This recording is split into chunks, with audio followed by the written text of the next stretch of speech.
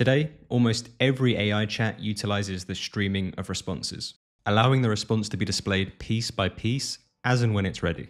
So let's dive into how you can set this up inside of WeWeb. So before we dive into how you would actually set up the streaming response within WeWeb, it's good to have a basic understanding of how the streaming responses actually work behind the scenes.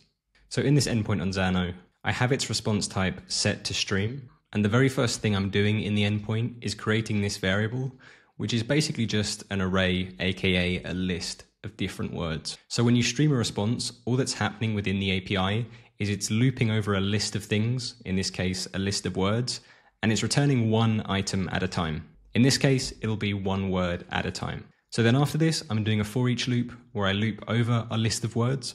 And then I just have a streaming API response action where I send back the item, which will be the word. And then finally here, I have a delay of 0.1 seconds, just because this would be so quick that it wouldn't actually illustrate the point of streaming. So it's just for this example. And so now in WeWeb, I have this chat UI, and this is actually a component. I won't go through the ins and outs of how you can create your own chat component. I'll only cover the logic of how you can stream the responses. But this chat component will actually be available as a template on the marketplace. So you're more than welcome to download it and use it. So the only thing I need to do before I set up the API call is I need to create a variable in my project, which I've already done and it needs to be an array variable. So here I have it, and I've called it external streaming response. And in my component, one of the workflows I have is to send a message. And as I say, this won't be a walkthrough of how you can set up a chat UI. This will be a walkthrough of specifically setting up the streaming responses. So I won't cover the specifics of what these actions at the top are doing, but basically they're just saving the user's inputs to a messages array, which is what I use to populate the chat.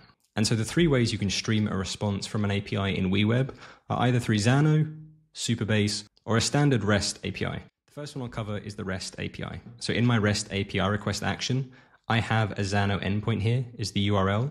And this endpoint is the one we just covered. So where I have this list of words and we send back each word at a time. And so for the setup of this REST API request, as I say, I have the URL as that endpoint. One other thing to note when using the REST API request is the content type is important. So if you experience any errors when you're trying to make API requests while streaming the response, you might need to change the content type from being default application JSON to one of the other options. In this case, I'm going to use text plain. And the most important part of making this work is you need to toggle on stream response. And once you do, you'll be prompted to select an array variable where you want to save the response of the streaming. And here I've selected that variable that I created, the external streaming response. And on my component in the settings, I've just created a handy prop that I can use for the demo. So I can set this to REST API. And now when I put something in the chat and send it, we'll get back a generic response when I send this. But what the response will be is simply this list of words one by one. So when I send this, we can see we're getting those words back one by one. And if I open the external streaming response variable, we can see that each word was automatically being added to this array once it was received. So that's how you could set it up for a REST API request. And inside the chat component, all I'm doing to format this array of words is I have a formula called formatted streaming response REST API. And I have some JavaScript. And all this JavaScript does is it joins all of the words in the array and adds a space between them. Whenever you're utilizing the streaming of responses from APIs, it's highly likely you'll just need to perform some kind of formatting to the response so you can actually show it in a user friendly way, like so. So now that we've covered REST APIs, let's cover a bit more of a practical example. Now for the Supabase and Xano examples, I'm actually going to call the OpenAI APIs, and I'm going to call the chat completion endpoint. So basically I can send a prompt to GPT and get a response. And I'll first go through the Xano example. So in Xano, I have this endpoint called chat, and it has the input parameter of messages and this is basically just where I will pass in the conversation history to this point so the AI has context of it.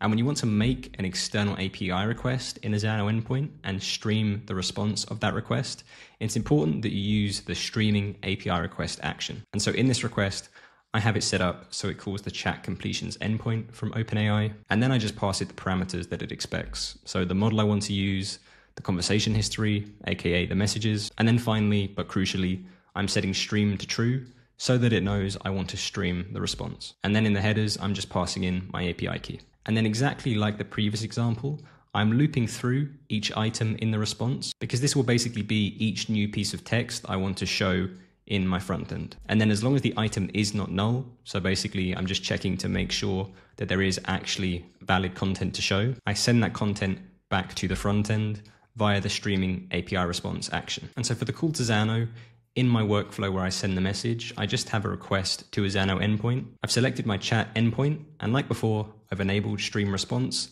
and selected external streaming response as the variable that I want to save the response to. And then I'm simply passing in my messages variable, which is a list of all of the previous messages, so it has context of the conversation. And so let's see what this looks like in practice in WeWeb. So in my settings, I'm going to put this to Xano. And so now if I say, hello, how are you?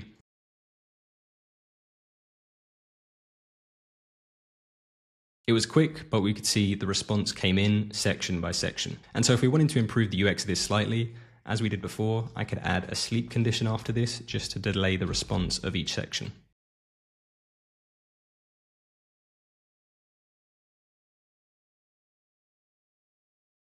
And so then if I ask a follow-up question,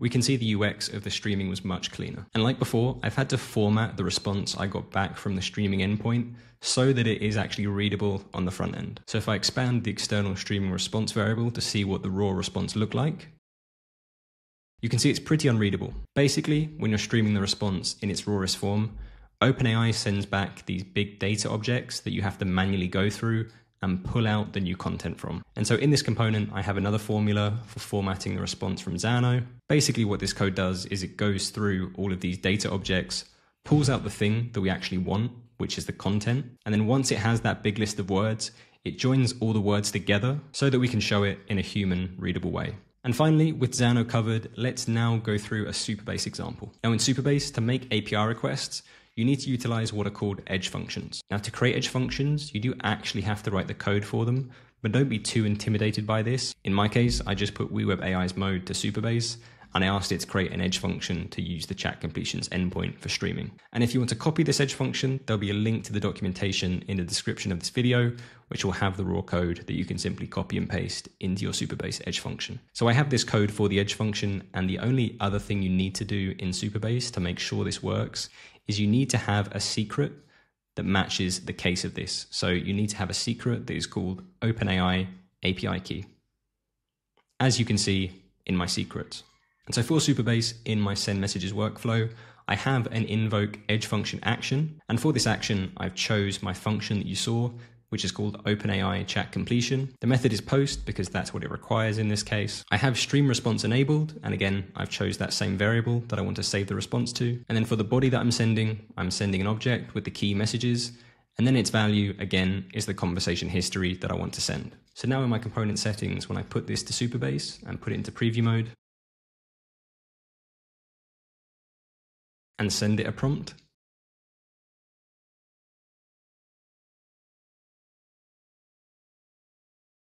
we can see we got that streaming response. Now this works the exact same as it did on Xano. The only difference is in the initial setup.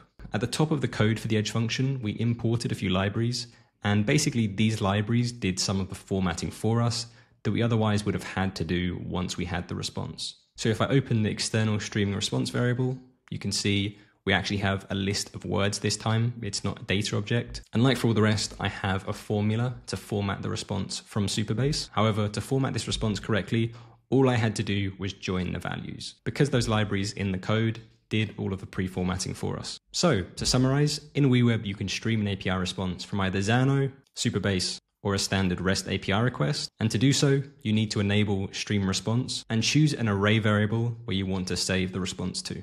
As that response is coming through, piece by piece, it will gradually be added to the array variable that you gave. And then with that streaming response, you'll probably need to format it in some way. The simplest form of this is you may just need to use a join formula and join each item of the array, as we saw in the Supabase example. However, if the response isn't pre-formatted at all, so it comes in the structure that you saw in the Xano example with those data objects, then you will likely need some custom JavaScript to format it so it's human readable. In the case of this, don't be intimidated. When you have the formula window up, you could simply just open the context window, pass in whatever variable you're using to store the streamed response, and then ask AI to create a formula that extracts the content.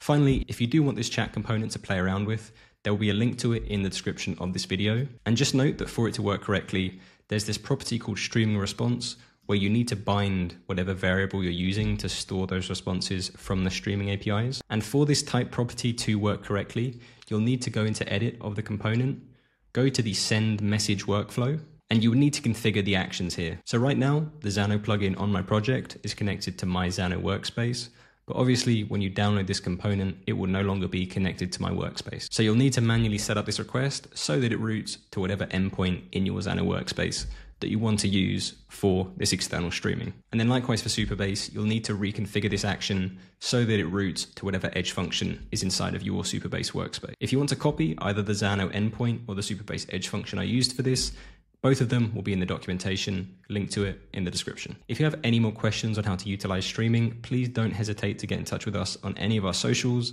or create a topic on the community forum. Also, on our YouTube channel, we do a live office hours every Tuesday, 6 to 7 p.m. Central European time, where you can join us and we can tackle your issues live. With all that said, happy building.